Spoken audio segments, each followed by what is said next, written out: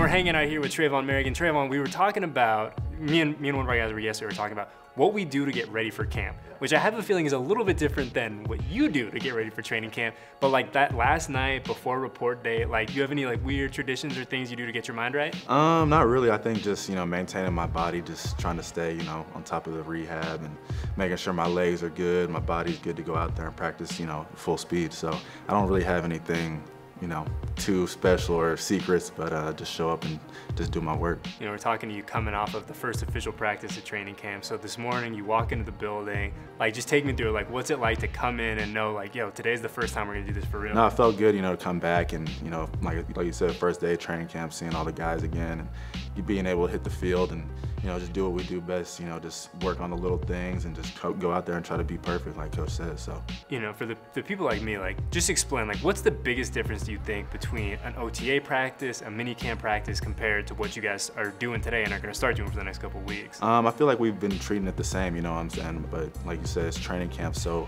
everything's kind of elevated. Um, you know, everybody's trying to, you know, do their thing and do it to the best of their abilities. But like OTAs, we're just kind of, you know, getting the hang of things, getting the swing of things, learning, you know, the new defense and stuff like that. So I think coming into the training camp, you know, it's it's kind of elevated, like I said. For you, we're going into year two now, which is already crazy to say because it feels like we drafted you like three weeks I know, ago. But like, uh, when you think back to your first training camp practice a year ago and now to today, like, what do you think like the biggest difference is, or is there not one at all? Uh, man, I would just say, um, man, I'd just say like my, my confidence just to go out there and just being able to be vocal, um, communicate, and just listen to the coaches. I'd say like last year, you know, I didn't really know what to do as much. You know, I was still new to things, new to the building, um, new to the way coaches were coaching, how my teammates were talking.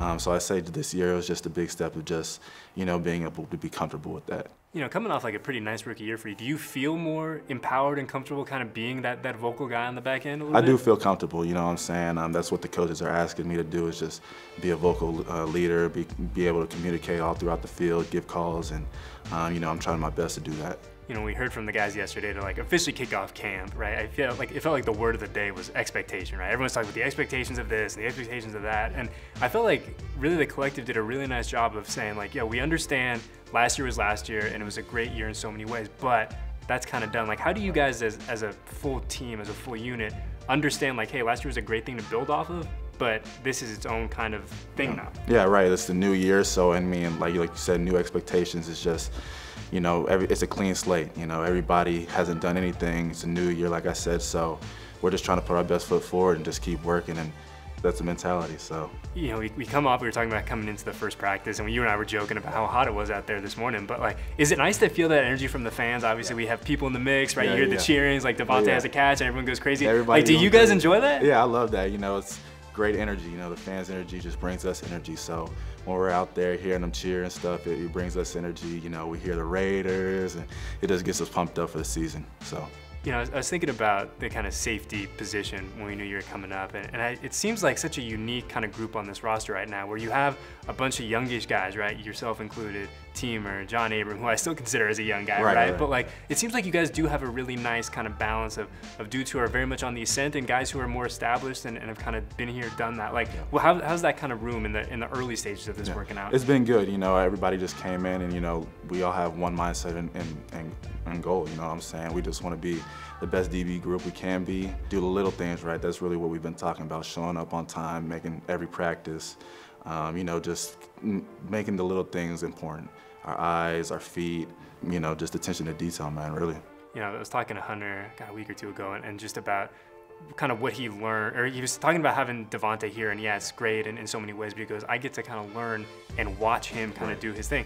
But I, I wonder, like flipping to the other side of the ball, I imagine that you guys as DBs also get a chance to learn from Davante and kind of what he brings to this roster too. Yeah, he's been a great leader. Um, you know, just aside of football, he's just been, you know, just a good locker room guy all around. You know, that's what we need. Um, and as, as long as we have that, you know, the football will take care of itself. So. It seems, at least from like the outside looking in, obviously because we haven't been in the locker room in a minute, but it seems like there's a really good core nucleus of just good dudes and having a good locker room in 2022. Yeah. Is that how you kind of are gauging it in the early Yeah, I think here? I think like I said, I think that's very important to have a good cohesive locker room. I mean, if everything isn't you know is jumbled up and we got one guy doing this and it's it's kind of get messy. So to have that camaraderie and stuff is, is pretty important. How important is it to have it from like like the big dogs on the roster, from a Davante, from a Darren, from a Derek, from Max, like guys that are going to be, you know, there's big expectations attached to them. They're really talented guys, but guys that are going to come in and set the tone just in terms of personality and leadership and, and camaraderie and stuff. Yeah, too. like you said, I think they said it, but um, I think also for them, they they expect you know everybody else to be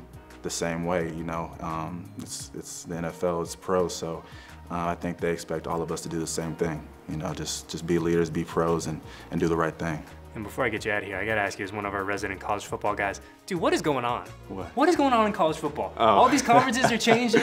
The Yeah. Pac-12 is like 14 teams. The Yeah. Big 12 is like 19 teams. Like, what is going It's on? been, it's been crazy. Ever since I left, man, it's I know. just been crazy, man. The the NIL, all that kind of stuff. So, yeah, I don't know. It's it's a big mess right now. Were you the one who was keeping everything together? Because, like you said, since you left, man, we got the NIL stuff, I which is great. But but then all the conference realignment, Yeah. like I'm gonna miss as a Pac-12 guy. Yeah. I'm gonna miss kind of some of these rivalries, and I, Right, as a right, Texas right. as a Texas football dude, Yeah. like it's got to be the same. Yeah, for like I, right? knew, I know there's a couple new teams in the Big 12. So like you said, it's a couple rivalries that we're missing out on. You know, big games that used to be back in the day. So it's kind of sad to see them go, but I, I guess it's the new trend, the new move, moving forward, the future. So That's all we can know. do, right? Yeah. All we can do is move forward collectively, Right, right? right, Well, hey man, I appreciate you coming up on the first day of practice. Good luck out there. Stay Thank you. cool, stay hydrated, as, as As DP, DP says, says, and uh, and we'll catch you soon, all right, brother? Yes, sir. Thank you. I appreciate you having me.